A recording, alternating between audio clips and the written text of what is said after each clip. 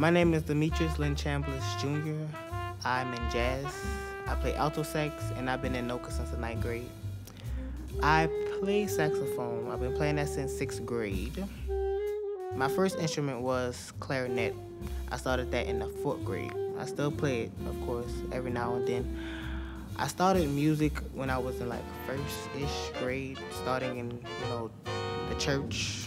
I've always been that child that the person to do what I need to get done, always was responsible. I had to kind of grow up at an early age since I had to take care of my brothers. My family isn't very music dominated. I have a few people on my father's side that play music, but other than that, we have we are very big in swimming.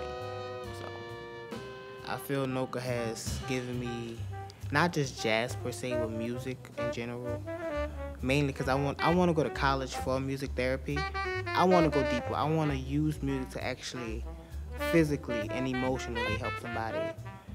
And that's what music therapy can do.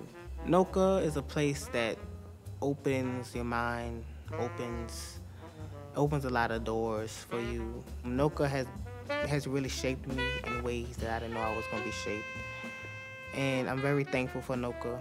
I can honestly say. Of course, I have up days, down days, but NOCCA has really inspired me to do much more in life.